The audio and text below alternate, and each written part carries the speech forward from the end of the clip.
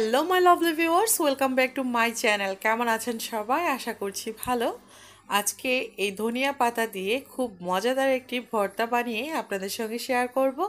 আশা করি আজকের রেসিপিটি প্রতিদিনের মতোই ভালো লাগবে। এখন শীতকাল, বাজারে কিন্তু ভরপুর ধনিয়া পাতা আর খুবই অল্প দামে এই ধনিয়া পাতা আমরা কিনতে পারি। তো চলুন দেখে নেই কীভাবে এই মজাদার ভর্তাটা বানাতে হয়। আমি এখানে প্রায় এক টেবিল চামচ পরিমাণ সরিষার তেল দিয়ে দিলাম। দিয়ে দিচ্ছি আট দশটার মতো শুকনা মরিচ। শুকনা মরিচটা আমি একটু টেলে নেব। অল্প আছে, এতে করে মরিচটা সুন্দর ভাজা হবে। চুলার আঁচ যদি বাড়িয়ে দিই, তাহলে মরিচটা কিন্তু উপরের দিকটা পুড়ে যাবে আর ভর্তাটা তিতো হয়ে যাবে। এই ব্যাপারটা একটু লক্ষ্য রাখতে হবে। তো মরিচটা আমি ভেজে নিলাম। এখন আমি এখানে অ্যাড করে দিব কিছু রসুন। আমি রসুনটা মরিচের পাশেই দিয়ে দিচ্ছি। আমি রসুন ভেজে নিব এই তেলেতেই। আর আসলে শীতকালে বাঙালির ঘরে ঘরে এই ধরনের ভর্তাগুলো কিন্তু আমরা করেই থাকি, তাই না? তো এই ভর্তাটা কিন্তু খুবই স্বাস্থ্যকর আর খেতেও কিন্তু ভীষণ মজার। তো কম বেশি বাঙালিরা আমরা এই ভর্তা খুবই পছন্দ করি। প্রতিদিন খাবারের মেনুতে আমরা কিন্তু এই ধরনের একটা ভর্তার আইটেম রাখতে পারি। এখন আমি মরিচটা নামিয়ে রসুনগুলো এখানে ভেজে নেব। তো রসুনটা একটু ভাজা হয়ে গেলে তারপর আমি এখানে পেঁয়াজটা দিয়ে দিব। যেহেতু আমি পেঁয়াজটা একটু কুচি করে নিয়েছি, তো পেঁয়াজটা ভাজতে খুব বেশি একটা সময় লাগবে না। রসুনটা যেহেতু আসতো, তো একটু টাইম লাগবে, সেজন্য রসুনটা আগে আমি একটু ভেজে নিলাম। এখন আমি রসুন, পেঁয়াজ দুইটাকেই ভেজে নেব। আর ভেজে নিলেই কিন্তু ভর্তাটা খেতে ভীষণ মজার হয়। আর ভর্তা খেতে যারা পছন্দ করেন, তাদের জন্য এই ভর্তাটা হতে পারে খুবই পছন্দের একটা ভর্তা। এভাবে যদি ভর্তাটা বানানো হয়, এটা খেতে ভীষণ মজার। তো ভিউয়ার্স আশা করি আজকের রেসিপি প্রতিদিনের মতোই ভালো লাগবে।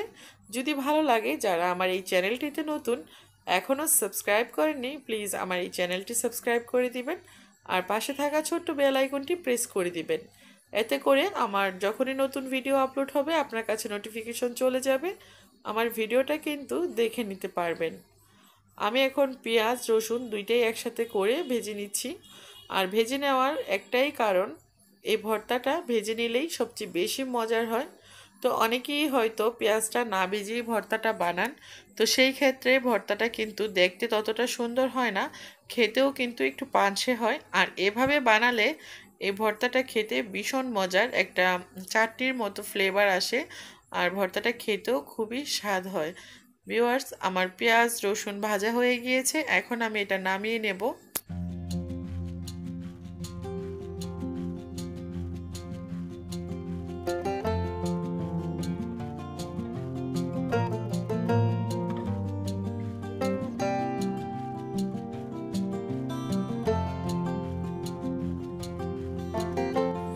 তো এই ধনিয়া পাতাগুলো আমি খুব সুন্দর করে পরিষ্কার করে ধুয়ে পানিটা একটু নিংড়ে নিয়েছি। পানিটা যেন একেবারেই শুকিয়ে যায়, সেজন্য আমি এভাবে অল্প পরিমাণ তেল দিয়ে তাওয়ায় টেলে নিচ্ছি, এতে করে পানিটা টেনে যাবে। আর এই ভর্তাটা খেতে ভালো হবে পাঁচে হবে না। তো আমরা কিন্তু অনেক সময় ধনিয়া পাতাটা না টেলেই ভর্তাটা বানাই। তো সেই ভর্তাটা কিন্তু একটু পানসে পানসে লাগে, খেতে তেমন ভালো লাগে না। তো এভাবে ট্রাই করতে পারেন যারা রান্নার ক্ষেত্রে নতুন অথবা বেচেলার ভাইরা আছেন বা এভাবে এখনও বানাননি, তারা কিন্তু এভাবে একবার হলেও ট্রাই করবেন। এটা খেতে ভীষণ মজার। তো আমি পাতাটা এভাবে টেলে নিব বেশ কিছুক্ষণ। দুই থেকে তিন মিনিট টেলে নিলেই কিন্তু পাতাটা, পানিটা ঝরে যাবে। তো ভিউয়ার্স আশা করি আপনাদের কাছে এই ভর্তাটা বাসায় বানিয়ে খেলেই বুঝতে পারবেন কেমন লাগে। তো বাসায় একবার হলেও বানাবে তো আমার সব কিছু সুন্দরভাবে টালা হয়ে গিয়েছে। আর এই তো ধনিয়া পাতাটা আমি টেলে কিছুক্ষণ তাওয়ায় রেখে দিয়েছি যাতে করে পানিটা টেনে যায়।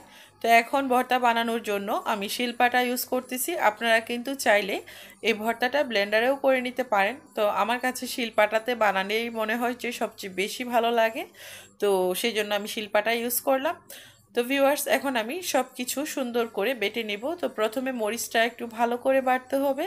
তো সেই জন্য প্রথমে মরিচ আর লবণ দিয়ে মরিচটাকে বেটে নিলে খুব মানে সহজে বাটা হয়ে যাবে। যেহেতু মরিচের বিচিগুলো একটু শক্ত শক্ত থাকে, লবণটা দিলে যেন মানে খুব তাড়াতাড়ি বাটা হয়ে যায়।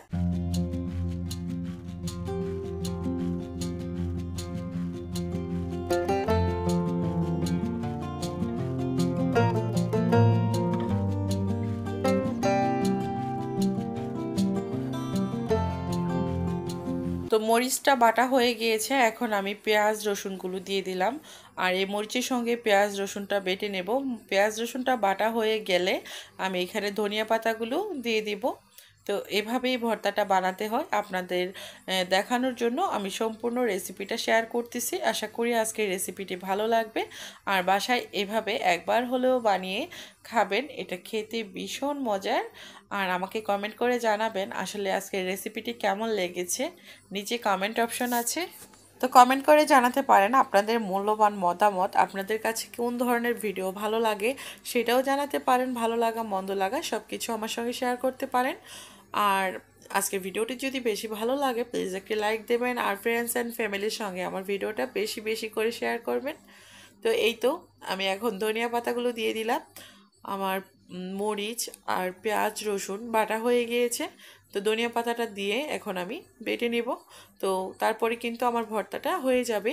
এই ভর্তাটা কিন্তু গরম ভাতের সাথে খেতে ভীষণ মজার। আর এখন তো শীতকাল, আমরা যারা বাংলাদেশে থাকি, ঘরে ঘরেই কিন্তু পিঠা পুলির ধুম সকালবেলা চিতই পিঠা দিয়ে এই ভর্তা খেতে কিন্তু মানে তুলনাই নেই, এত মজার হয়। তো আশা করি ভিউয়ার্স আজকের ভর্তার রেসিপি আপনাদের কাছে ভালো লেগেছে।